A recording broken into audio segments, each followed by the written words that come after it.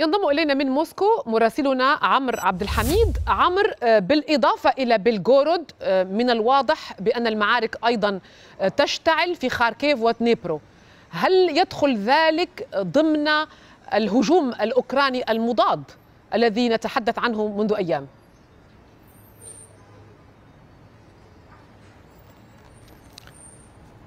لا أدري فضيلة أن كنت تتحدثين معي أم مع نعم نعم عمرو. من كييف؟ لا لا أتحدث معك عمرو. نعم.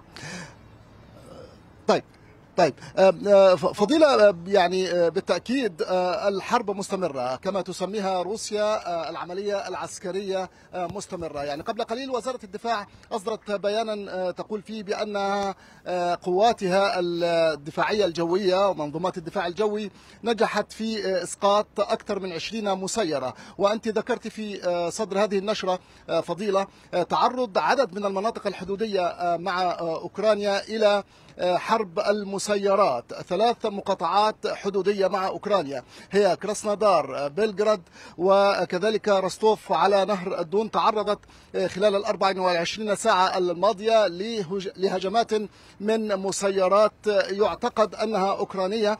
وأيضا يبدو أن بلغراد هي التي تدفع أكثر من هذه الفاتورة فاتورة الجوار الجغرافي مع المناطق الأوكرانية المتاخمة لها. الأمر الذي أدى إلى أن السلطات في تلك المقاطعة تعلن بأنها في نيتها انشاء ربما تشكيلات شعبية ولكن مسلحة للدفاع عن هذه المقاطعة.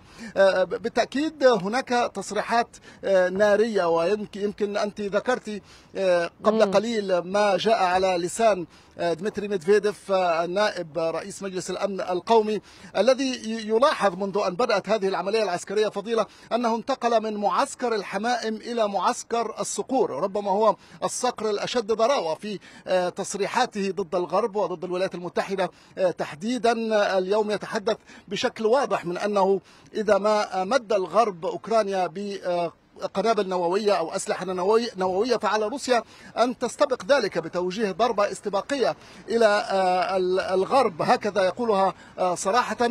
ولا يخفي السيناريو الذي توقعه ربما قبل عدة أشهر عندما تحدث عن أن أوكرانيا كدولة في طريقها إلى الانتهاء وطريقها إلى الزوال من الخريطة خريطة العالم. هكذا يتوقع ربما نائب رئيس مجلس الأمن القومي الذي تولى الرئاسة في فترة من الفترات إلى أي درجة وصلت هذه الحرب وهذا الصراع بأن يتحول نعم. شخص كان محسوبا على تيار الليبراليين الروس إلى أن يكون أحد أشد آه. الصقور ضراوة. نعم. شكرا عمرو عبد الحميد في موسكو. شكرا لك.